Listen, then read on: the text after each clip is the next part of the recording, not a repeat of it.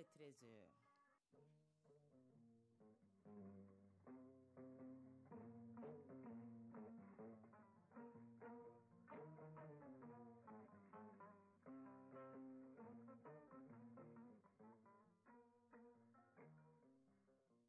Le journal Teneba Munikata. Deuxième édition des Mali Actualité, bienvenue. Poser les jalons de l'unification des deux pays à travers une semaine culturelle et économique, telle est l'ambition du chanteur Salif Keita. Il a soutenu son projet devant les premiers ministres. Un meilleur service en eau potable au profit des populations, c'est le but des aménagements effectués par la SOMAGEP. Le ministre en charge de l'eau est allé faire le constat sur le terrain. Environnement, Agibou Koulibaly nous parle du programme Benkadi de SECO ONG. Il réunit quatre plateformes d'ONG d'Afrique de l'Ouest et une ONG néerlandaise, porte-parole et action. Et puis sport, une page animée par Idrissa Kamara, coupe ORTM deuxième journée du football féminin également avec les tournois de montée en Première Ligue et du basketball championnat national et les championnats d'Afrique filles de moins de 18 ans Madagascar 2022. Mesdames, Messieurs, bienvenue. Le Premier ministre a accordé une audience au musicien Salif Keita. Il est venu présenter un projet de fédération visant à regrouper le Mali et la Guinée-Conakry deux peuples unis par une même histoire, un même destin selon lui. Son initiative a pour but de promouvoir l'intégration entre les deux pays. Elle sera d'abord matérialisée par une semaine artistique, culturelle et économique. Les précisions avec Salif Keita, co-promoteur du projet au micro de Boubacar Bablin Touré. Dans cette refondation, n'est-ce pas, il faut que chacun mette sa pierre. Et ce qu'on a amené un document qui est euh, le début d'une initiative qu'on veut prendre, c'est-à-dire la fédération entre la Guinée et le Mali. La Guinée et le Mali ont été toujours un pays, ça n'a jamais été deux. Le projet culturel, c'est ce que nous, on va partir euh, avec le support de la politique euh, des deux côtés, on va partir à la frontière, lever la, la barre de la frontière. Ça divise nos familles, ça divise notre pays. Non, c'est parce qu'on aime. On veut enlever cette division-là. Le Premier ministre m'a donné sa parole. Je suis sûr et certain qu'ils vont nous accompagner. Les ministres des Mines, de l'Énergie et de l'Eau en visite de terrain, c'était dans la région de Koulikoro, notamment à Banankoro, Sanankoroba et Senou, en commune 6 du district de Bamako. La visite a pour objectif d'apprécier les réalisations en infrastructure effectuées par la SOMAGEP en vue d'améliorer les besoins en eau potable. Alpha Mega. La commune de Sanankoroba dans la région de Koulikoro est située à 30 km de Bamako sur la route nationale numéro 7 en allant à Sikasso. Et c'est bien ici que la Société malienne de gestion de l'eau potable, SOMAGEP, a réalisé des forages et des branchements sociaux.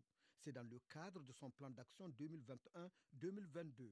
Draman Koulbali, directeur général de la SOMAGEP.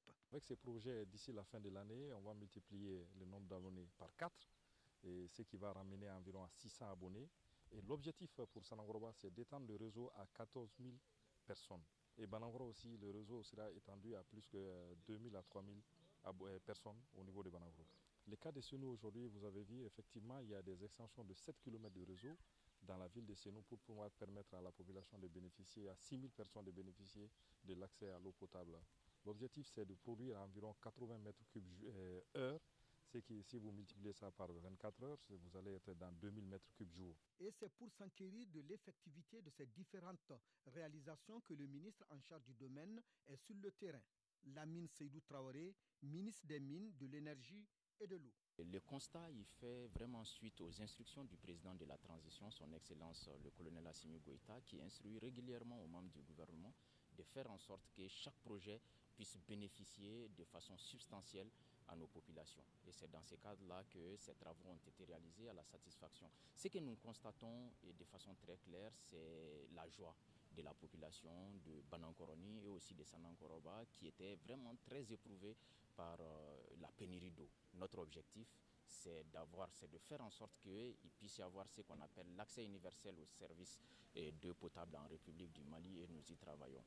Du quartier Senou en commune 6 du district de Bamako à Sanankoroba, dans la région de Koulikoro en passant par Banankoro, le ministre des Mines, de l'Énergie et de l'Eau a saisi cette occasion pour inviter les consommateurs à plus de civisme. Si Somagep arrive quand même à faire ces, travaux-là, parce que quelque part, euh, les abonnés arrivent à payer les factures. Donc vraiment, c'est le lieu de leur lancer cet appel de payer régulièrement les factures d'eau pour que davantage de Maliens puissent accéder à ces services qui est vital pour la population. Même lieu, mais cette fois-ci un danger sur la tête des populations, des fils électriques qui constituent un ornement ça et là. Le sujet s'est invité comme doléance à la visite du ministre en charge de la question par le maire de la commune. À Caille, les membres de la commission de rédaction de la nouvelle constitution ont rencontré les forces vives des régions de Nyoro, Caille et Kita. C'est là dans le but de recueillir les avis et propositions utiles au projet de nouvelle constitution. Benoko Fofana. C'est dans un cadre inclusif que Mamani Nassiré et professeur Moussa Djiré, tous membres de la commission de rédaction de la nouvelle constitution, ont recueilli les avis et propositions des forces vives des régions de Nyoro, Kaï et Kita. Pour cet exercice, un canevas indicatif de recueil avait été envoyé en amont aux acteurs pour être édifié. Au terme de cette rencontre d'échange, les propositions formulées par les forces vives du site de Kaïa sont entre autres Tchemoro Djakite, président du conseil du cercle de Nyoro. au nom de la région de Nyoro, on essaie de retirer euh, les résultats définitifs des élections législatives et des élections présidentielles à la Cour constitutionnelle qu'on essaie de donner ça à la lègue. Boire Nene Damba, maire de la commune rurale Gadougou 2, région de Kita. On a eu à parler aussi du nomadisme politique parce qu'on a eu, lors des cours de mandat, des politiciens se permettent d'aller dans deux ou trois partis en même temps au cours d'un seul mandat. Donc, euh, si on arrive à interdire à tous les élus du Mali, ça sera une bonne chose. Les membres de la commission chargée de diriger les travaux du site de Kaya ont apprécié les propositions. Professeur Moussa Djiré, membre de la commission de rédaction de la nouvelle constitution. Ils sont allés à l'essentiel en parlant effectivement de ce qui nous préoccupe. Notons que pour cette élaboration de la nouvelle constitution, les membres de la commission de rédaction ont deux mois pour soumettre un avant-projet au président de la transition. Kaya Benoko Fofana, Lassana Keita, pour leur thème. En cinquième région également, la commission de rédaction de la nouvelle constitution, conduite par le professeur Aruna Diallo, a rencontré les forces vives, les autorités politiques et administratives des régions de Taoudeni, Tombouctou, Douanza, Banyagara et Mopti. Objectif là aussi, échanger avec les acteurs sur les préoccupations, avis et propositions des différentes régions en vue de l'élaboration de la nouvelle constitution. Daouda Djakite.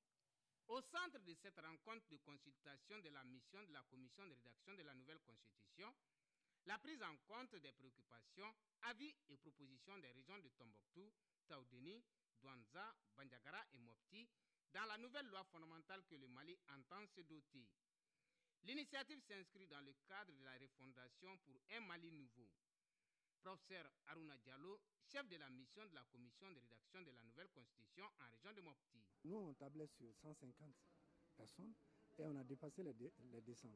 C'est la preuve de l'enthousiasme qui... Parce qu'on a compris tout de suite que les populations ont conscience du fait que la constitution va normer le Mali nouveau.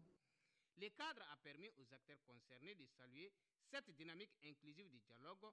Mohamed Ould Ali, participant de Taoudeni.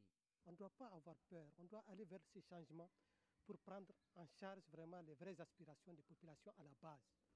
Abouakrine Alaïsissé, participant de Tombouctou. Au niveau des communes, nous en sommes fiers. On va faire l'intri et faire sortir une constitution qui va prendre en compte tous les besoins de, des communautés dans leur diversité. Bassoum Aminata Isabere, participante de Douanza. a rencontré les forces vives de la nation et de la société civile. Vraiment, c'est quelque chose qui est très, très bien. David Guindo, participant de Bandiagara. Et de fait de recueillir les impressions en tout cas, jusqu'à la base, moi, je pense que c'est une très bonne chose. Tchekna Nyang, participant de Mopti. La façon dont on a procédé, de, je trouve ça très participatif et très inclusif. Toutes les forces vives, en tout cas des cinq régions, ont été conviées pour une meilleure constitution. Des fiches de canevas ont été mises à la disposition des participants qui disposent d'un délai d'une semaine pour leur contribution et sur les sites de la commission www.crnc.ml. Mopti, Daouda Diakité et Suleiman Tefsugé pour l'ORTM.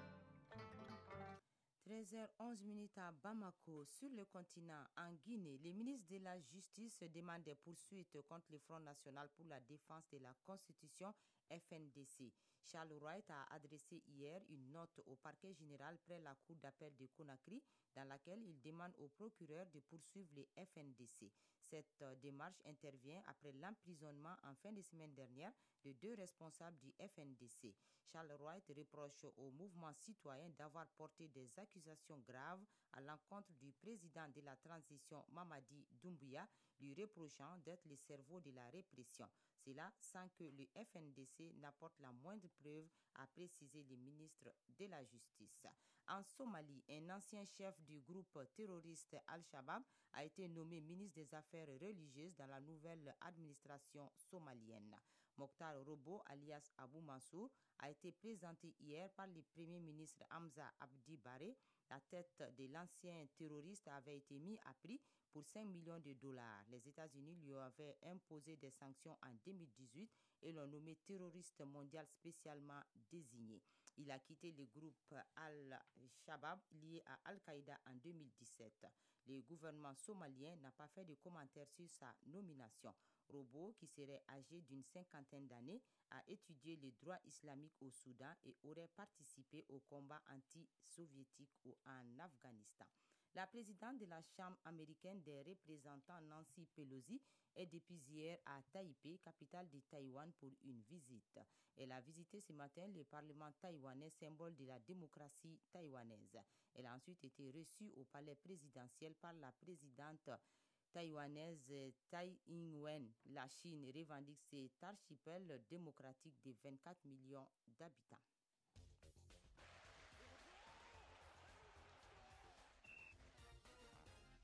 Nous ouvrons cette page sport. Le ministre en charge des sports, Moussa Ag Attaher, était l'invité du troisième numéro de l'émission intitulée 90 minutes pour convaincre. Elle est produite par l'Association des journalistes sportifs du Mali. L'enregistrement a eu lieu à la Maison de la Presse. Le ministre a touché à plusieurs points le compte rendu avec Salif Diakité. Face aux hommes de médias, le premier responsable du département des sports a tenté de convaincre l'assistance par rapport au fonctionnement de son département.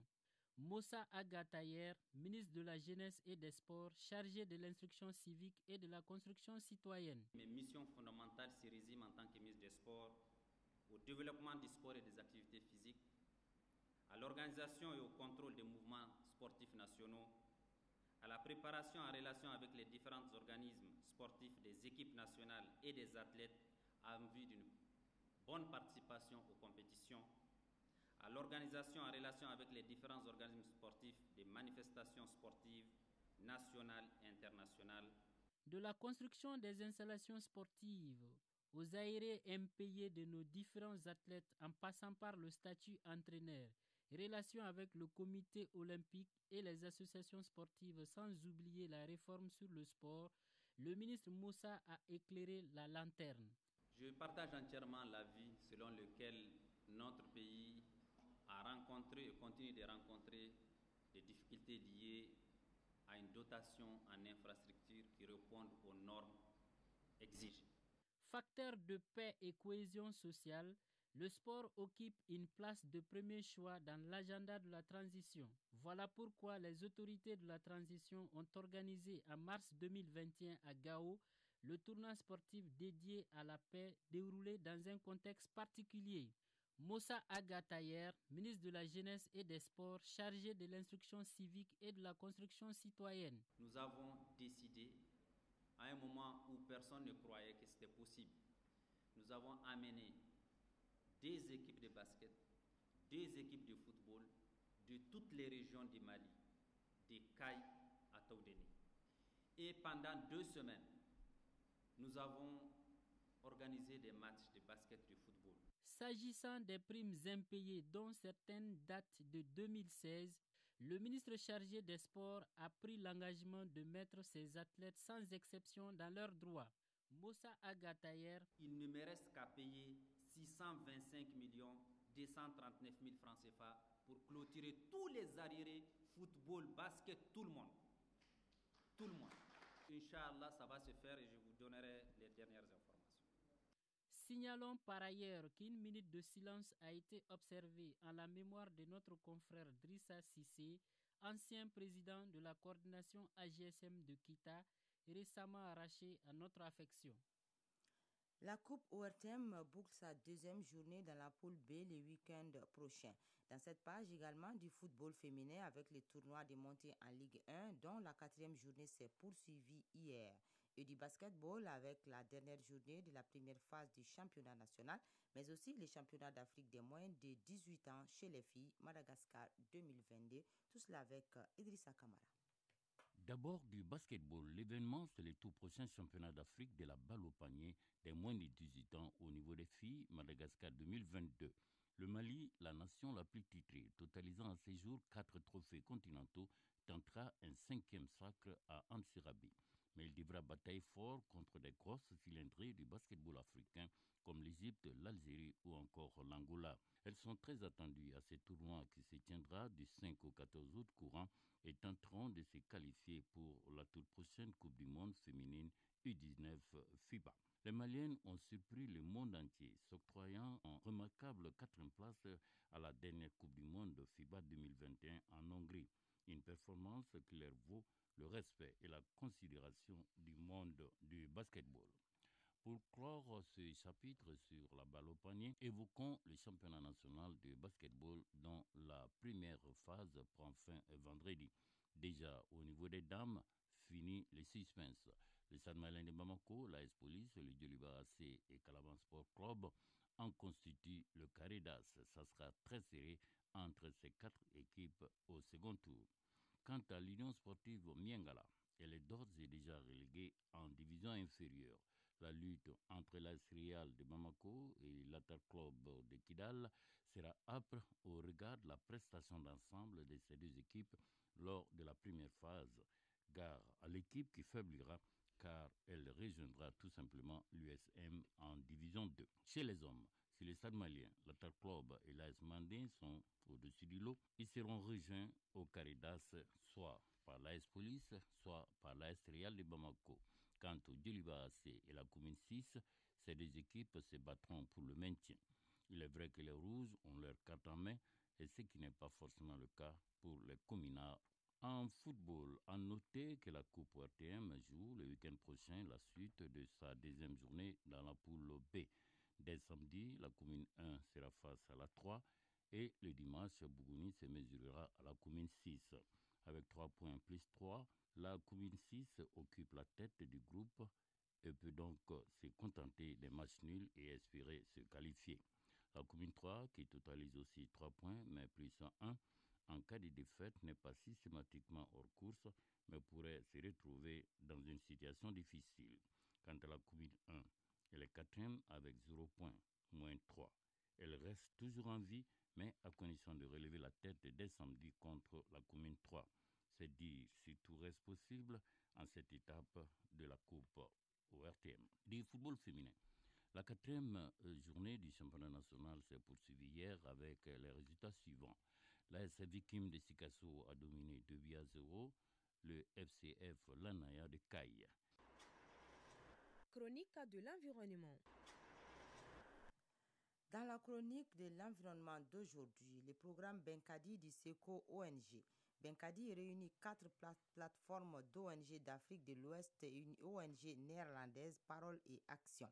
Il est mis en place par la société civile afin d'améliorer l'efficacité des politiques publiques en matière d'adaptation au changement climatique et d'atténuation de ses effets. Agibou Koulibaly. Les changements climatiques affectent la vie des populations dans les zones d'intervention du programme Benkadi. À cet effet, ils entravent la réalisation des objectifs de développement durable comme l'insécurité alimentaire et nutritionnelle, l'accentuation de la pauvreté, le manque d'accès à l'énergie renouvelable et les conflits sociaux et migration. Démarré seulement en 2021, plusieurs stratégies permettront le déploiement des activités pour atteindre les résultats escomptés. Mohamed Kambara, chargé de projet pays du programme régional Benkadi de la plateforme SECO ONG au Mali. Cette première année a été consacrée essentiellement à la réalisation des études de base. Parce que quand vous voulez vous attaquer à un domaine aussi complexe que les changements climatiques, je crois qu'il est bon de faire le point. Parce qu'il y a de l'existant, il y a d'autres partenaires, il y a d'autres acteurs qui interviennent toujours dans le domaine de, des capacités de résilience des populations. Donc avant de s'y attaquer, c'est de faire le point. Et on a pu réaliser sept études de base en 2021 sur l'ensemble de nos trois zones d'intervention, à savoir les régions de Bougouni, de Djouila et de Kolokani. Nous intervenons dans 24 communes. Ces 24 communes, nous travaillons avec 8 ONG locales qui sont basées là-bas, qui ont une maîtrise totale du terrain, qui travaillent déjà avec ces communautés. Et ça, c'est un plus.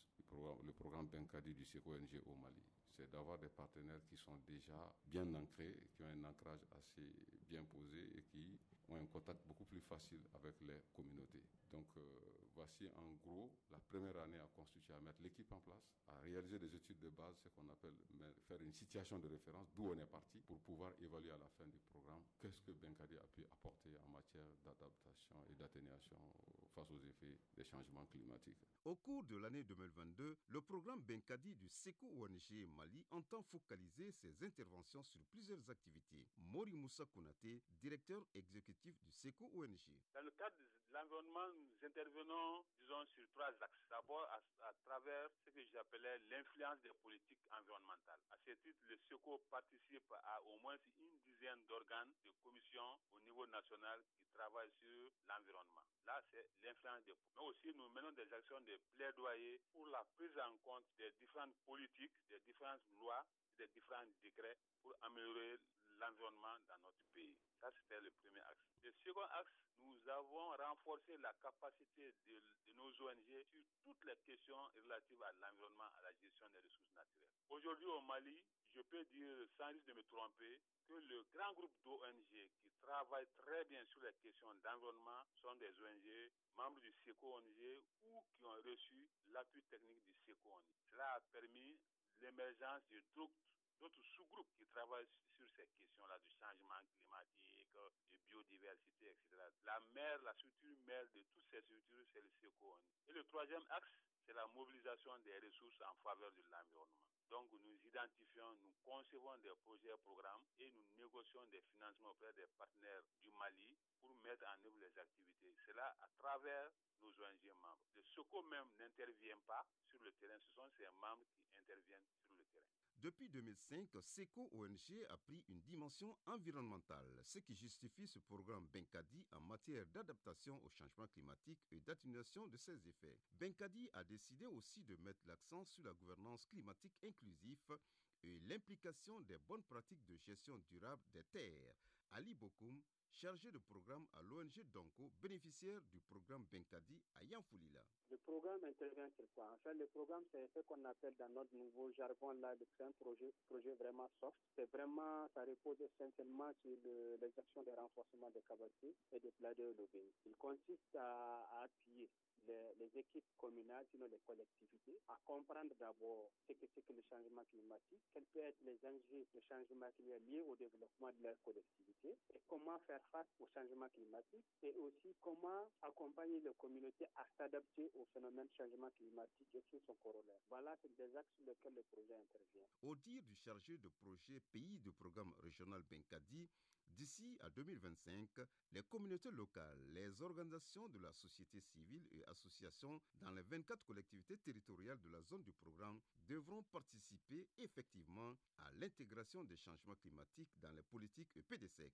au suivi et évaluation des politiques et veiller au respect des engagements conduisant à la reforestation de 30% dans la zone d'intervention du programme.